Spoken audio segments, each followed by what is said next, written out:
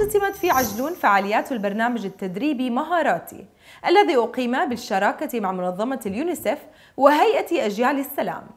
وقد استهدف البرنامج الذي استمر أربعة أيام فئات الشباب لإكسابهم مهارات حياتية وتعزيز ثقتهم بأنفسهم وقدراتهم وتحويل السلوكيات السلبية في داخلهم إلى إيجابية.